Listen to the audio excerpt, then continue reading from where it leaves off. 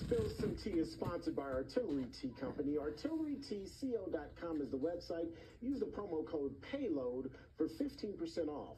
Artillery Tea is all natural, it's whole leaf. The tea bags are chemical free, and each of them can be used not just once, but twice. Again, the website is artilleryteaco.com. Artillery Tea Company is family and veteran owned and operated, and a portion of your purchase goes to help veteran and first responder charities. ArtilleryTeaCo.com. Use the promo code PAYLOAD for 15% off. Uh,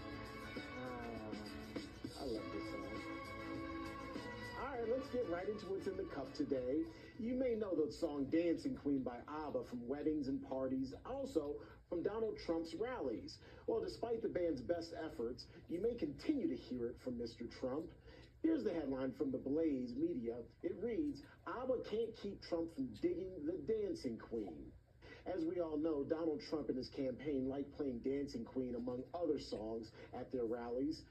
Well, except in a few isolated incidents, the United States allows campaigns to get a political entity's license via the performance rights organization Broadcast Music Incorporated.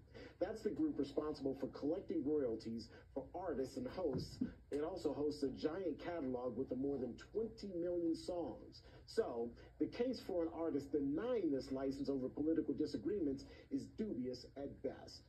Mr. Trump, for the foreseeable future, can keep dancing to Dancing Queen at his rallies. So we, of course, want to know what you think about all of this as well. You can go to Get On on Rumble. But now, let's bring back in our uh, co-host here.